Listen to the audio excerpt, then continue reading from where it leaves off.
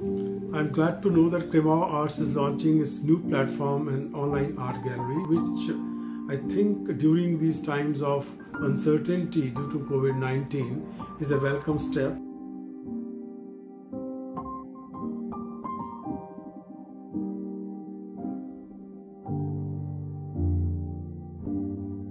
And uh, we all know that physical access to the real world of art is becoming less and less feasible.